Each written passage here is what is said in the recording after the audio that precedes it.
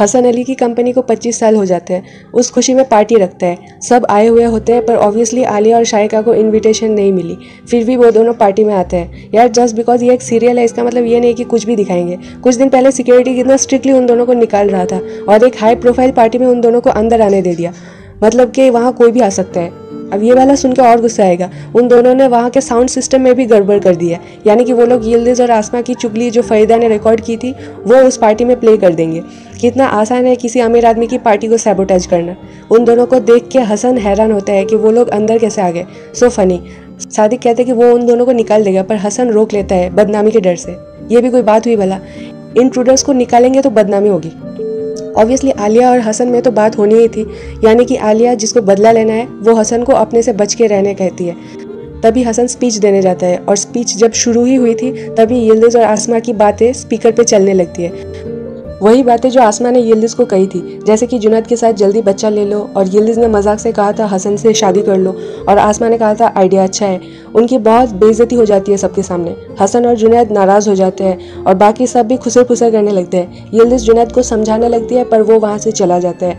और जब आसमा भी हसन को समझाने लगती है तो हसन उसको गुस्से में घर भेज देता है। वहाँ जो भी हुआ, सबका वीडियो बना के शाहिका ने फरीदा को भेज दिया।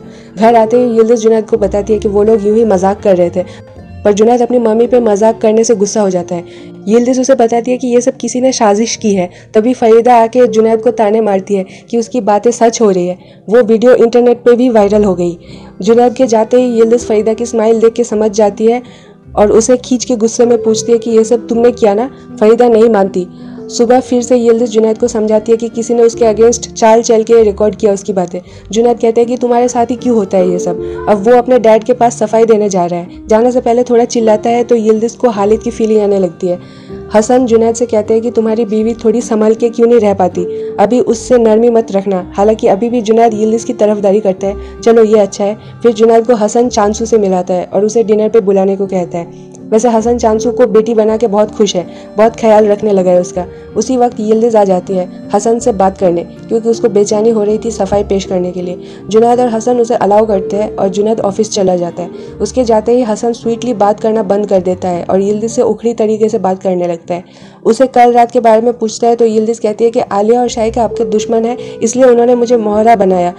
हसन ये बात जानता है, फिर भी वो यिल्दिज को ही समझाता रहता है। जिसे यिल्दिज को गुस्सा आता है और वो कहते हैं कि ये वार्निंग्स अपनी एक्स वाइफ को जाके दीजिए। वही हमारे घर आकर ये सब चाल चल रही है शाइका और आलिया के साथ, ताकि हम दोनों अलग हो जाए। मैं आप लोगों को खुश करने के लिए अपने आप को दबा नहीं सकती। तभी हसन उसे स्वीटली बात करने लगता है और उसे समझाने लगता है। अच्छा तो अब इस चांसू को लेकर बात करते हैं। उसको एक कॉल आती है और कॉल थी शाहिका और आलिया से। समझ आ गया होगा आप लोगों को।